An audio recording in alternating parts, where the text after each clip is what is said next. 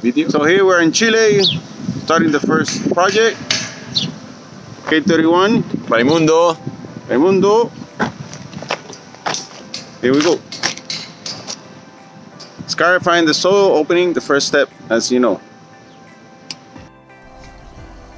Alright, this is going to be kind of a long video um, because we want to uh, showcase uh, step by step uh, what it entails to build uh, a road using uh, soil stabilization.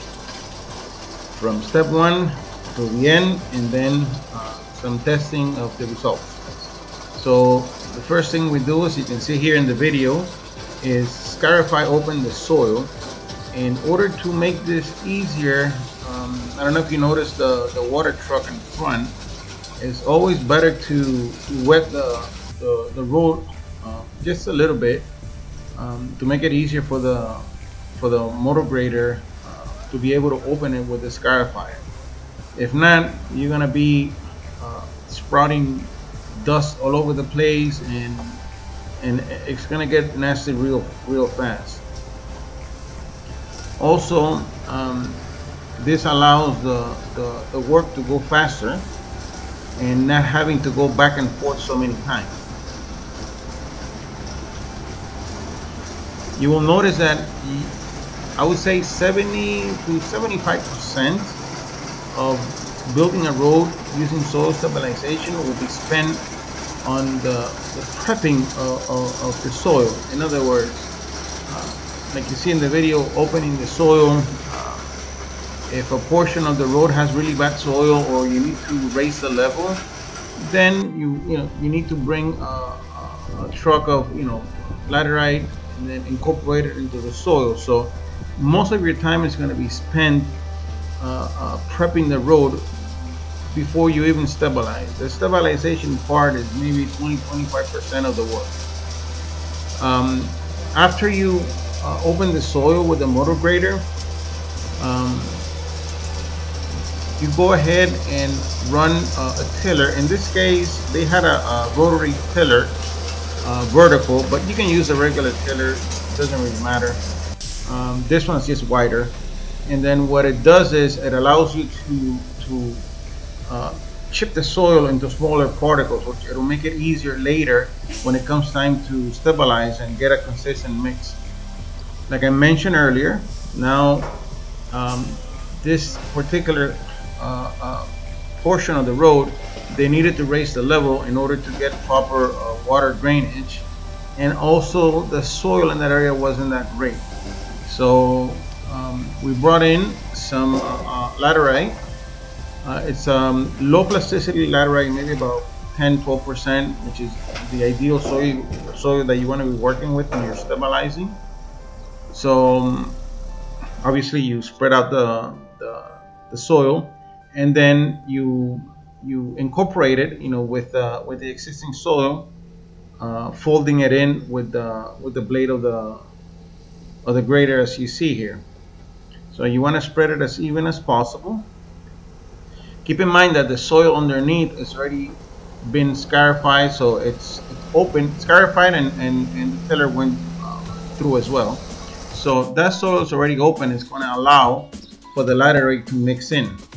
Now, this is uh, these are the totes of the K31 APS soil stabilizer. We always recommend that you stir them really well, as you see uh, uh, Raimundo doing in this uh, uh, video. Because remember, you know, it's manufactured in the U.S. By the time it gets to the destination, it may be weeks, you know, sitting in a container. So it, it could always, you're dealing with polymers, you know, uh, uh, it, it, always tends to settle on the bottom a little bit. So before you pump it into the water truck, um, you want to make sure that you stir it well. Um, you have two options to incorporate uh, the APS with the water. You could either uh, do it with a water pump as you see here. Just make sure you wash the water pump after you do that. Or you can lift it with a forklift. The totes has a valve on the bottom. You can just pour it into the water truck. Uh, to do the stabilization, you want to do a, a mix of uh, one part APS to six parts water. Then you can see the the the spray bar. You can even use PVC. It doesn't have to be anything too professional. Um, just you know, adapt a, a, PVC pipe and drill some holes on it, and you're good to go. You don't need to reinvent the wheel. So you start spraying the the APS. Um, as you can see, most of it is being uh, sucked into the soil. That's why we do a one to six. So you do a couple of runs back and forth.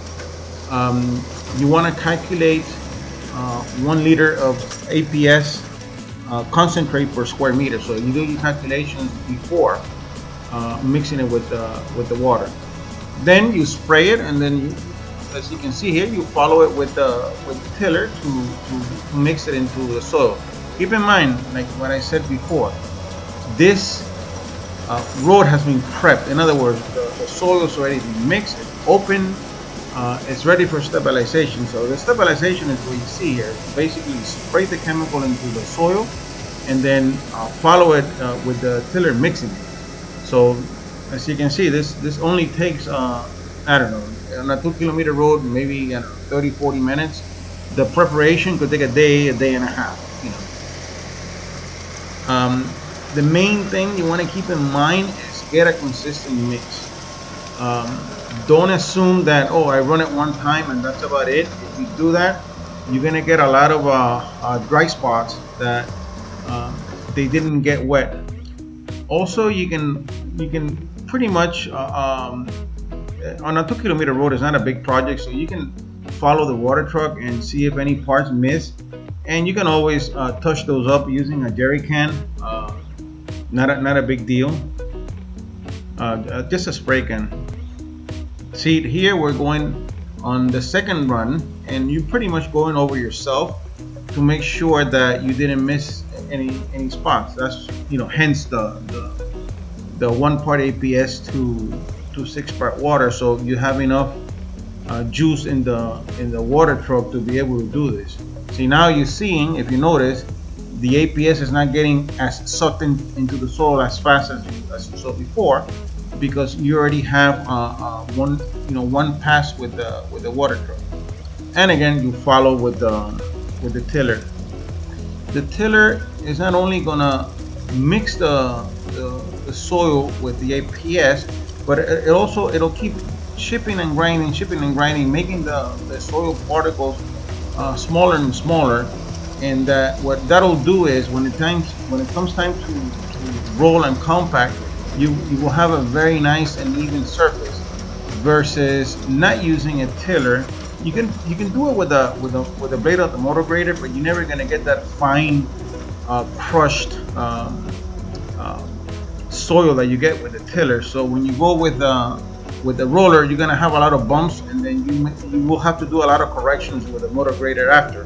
By doing it this way, you pretty much eliminate even having to to come back with the with the motor grader. Okay, what you see here, you're always gonna have some spots that are corner in or they're in a difficult spot, uh, uh, a difficult uh, location. If you notice here, it's, it's, like a small space here to the left uh, of this building. And it's difficult for the machines to get in there, especially the motor grader needs a lot of space to, to, to turn. So what you do is you do it by hand. What they're doing here is removing the larger stones. You don't want those huge stones when you when you're stabilizing, uh, and also a lot of debris if you notice on the surface.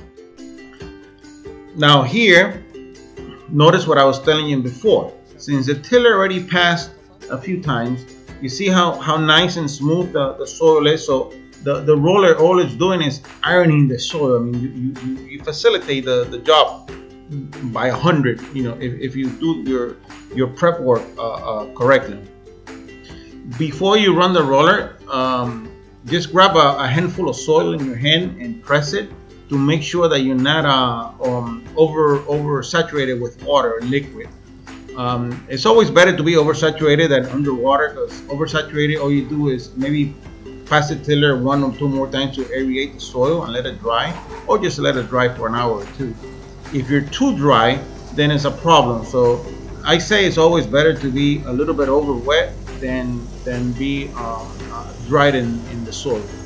So here you can see the rollers it's not even vibrating this is the you want to do a couple of times just rolling it and then after that maybe five six times with a full compaction um, you want to reach about 97, 98 percent. This year is already the following day. The the road has uh, uh, dried. Now we're starting to do what is uh, the seal coat, and what this is going to do is going to act as a running surface, uh, protecting the, the the road base that you just finished stabilizing the day before. If you notice, the day before when we when when the truck first started spraying, all the APS was just being sucked in. Now most of it is staying on the surface. Keep in mind this is only the first coat. You're going to be doing three coats this way. Um, you'll be using uh, half a liter of concentrate uh, APS per square meter of, uh, um, of road when you're sealing the road. So you're gonna mix, you're gonna calculate that into three passes. So you're gonna do 0.5 liters per square meter divided by three. Your mix with the water is gonna be one part water to, it could be nine or 10 parts, um, I'm sorry, one part APS to nine or 10 parts water. So you don't want to make it too thick and you don't want to make it one only, one seal coat only because what will happen is remember this is an acrylic copolymer and it'll get it'll solidify on the surface and then it'll be sticky and it'll take forever to to dry. Plus it won't be able to penetrate into the into the soil to to create that protection. You want this APS to, to go in there into the small crevices in the soil and then seal um, this will make your road uh, waterproof, uh, dust dustproof, erosion proof, and this will make this is what makes the road last for many years. Again, as I explained before, if the uh, water truck misses a spot, you can always do it. This is jerry can. You can always do it with a jerry can. You can do this on the seal part, uh, and you can also do it when it's, it's stabilized. Now, this is um, um, I don't remember if it's the next day or the same day in the afternoon. I think it's the next day. Um, you want to make sure that between each seal coat, the, the, the road is dry. Just touch it with your hand and, and you'll be able to tell. You don't need any scientific equipment. If you notice here now, when the water truck is spraying the APS, everything is running to the side because you already have one seal coat on there. So the, the road right now is, is, is basically what you put you put a, a, coat of uh, plastic on it you know. Um, again this is what's gonna protect your road from from from the rain from from the traffic driving on the road. Um, make sure you don't go fast with uh, control your the operator for the water truck because if you go too fast then you're gonna start getting a lot of bald spots and those are gonna become your weak points later. Um, and that's just gonna you know give you headaches in in the future you know um, that's where you're gonna get your potholes or uh, you know spots that are going to be eroded. You see how slow he's going and now you want this fluid uh, white milky. If you notice now it's not even going in. Everything is staying on the surface. Don't worry if you see the the the, the, the pass on the on the on the left side of the of the water truck it's already beginning to to to get absorbed, but it'll be absorbed at a much much uh, uh, slower pace. Don't don't worry if you see a lot of it is going to the side. You can always uh, uh, uh broom it back in. You know, using a, a broom, a brush. And this is the final and third coat. Again, remember that you, you need to let it dry uh, fully before um, doing these uh, these seal coats. Between each seal coat, the road needs to be dry fully. Just taking a, a sip of water. I've been talking straight for 14 minutes, so I hope you can excuse me. All right, so now the truck is coming again and spraying the APS this is the final coat. After this coat uh, dries completely then it, it, it, depends on the weather. If you know if it's too humid it may take a day. Um, but if it's sunny and it's relatively uh, uh, dried out um, even even the if you do the, the, the seal coat in the morning even in the afternoon you can open the road for traffic. Um, to be on the safe side you know we always encourage you know if you go if you do it let's say on a monday morning try to open the road, you know, maybe Tuesday by 10 or 11 because you want to give a chance uh, for the sun, you know, to, to dry the road for the entire day and as, you know, as much as you can of, of the next morning. Uh, you just want to make sure that uh, that your road is, is tight and sealed and you're not going to have any any problems or, or especially if if the, the seal coat is not fully dry, you don't want it sticking to the tires of the of the cars or the trucks. And then it's the same thing that will happen to, to asphalt if it's uh, if it's wet. You know, it'll stick to the tires of the, of the vehicles and it'll get peeled off. And then again, you start getting uh, uh weak spots that are going to give you uh, uh, problems in the future. That's where you get your potholes and and all these uh, problems that you will have. All right, so this is already, um, I think it's like three or four days after the job was finished. So here we're running the, a pickup truck and doing about, I don't know, 90, 100 uh, kilometers an hour. Uh, if you notice, there's no dust whatsoever being uh, brought up on this road. And there goes the truck. That's a, a full-size uh, Dodge truck. Um, remember here, the, the mess that we had before, everything is, is, is nice and finished already. Now, this we don't recommend doing after three or four days, but just for the purpose of the video, we're doing a, a, a water test, just, you know, throwing some water on the roads. It looks like dirt, but look at his hand. You see? Nothing sticks. The road is solid. And we got a lot of questions, how's traction? You don't have any problems with traction because you can't see it in the video, but a lot of the smaller stones act as as your uh, adhesive to, to to the tire you see? 100% waterproof. You don't have any issues with this and there's no problems with the traction so you're okay with the traction. And here that part where the truck is it, hasn't been treated with the APS that's the original side of the of the, the other side of the compound. Now watch how much dust he develops as he comes from the road. That's how the whole road was before. Now it goes on the APS side that we stabilize. Look at this. Not even a, a speck of dust. Okay, that's K31 APS soil stabilizer. This is the same day after we finished doing the, the, the water test and the, the, driving test and the dust control test, you know, for, for you guys to, to, to review. Um, this is a 40 ton truck already driving on it if you notice there's no dust there's no problem. This this road is um it's an access road for a winery. So all the all the traffic that you get here is uh, 40 and 60 ton trucks like like the one you see here.